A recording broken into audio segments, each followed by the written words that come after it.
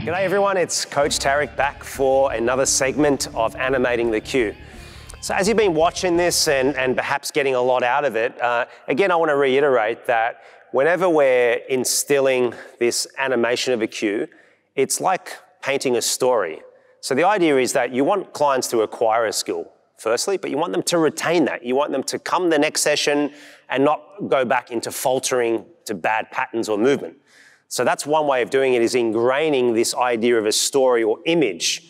And a lot of uh, scientific studies show that storytelling starts to wire the brain. Cells that wire together fire together. So once we can tap into that visual cortex, we can start to have profound instantaneous um, impact. So a classic movement that we teach, a staple movement, is the lunge. So whatever you're carrying, whether it's an implement loaded or unloaded, what you want to imagine is as this foot is planting forward, you want to press that nail into the ground, okay?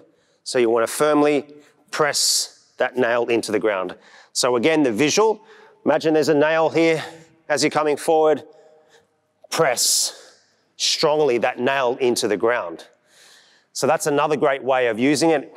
The other way I can use it here is if I'm squatting, I want to avoid lifting the heels of these, those feet. So imagine you've got two nails, the heels of your foot, and you're going to nail them into the ground. So you're anchored now, you're anchoring into the ground. Again, using that reference of the environment, using the metaphor or the analogy being the nails. As you squat down, keep those nails into the ground, keep those nails. So again, visual, not the heel, the nail.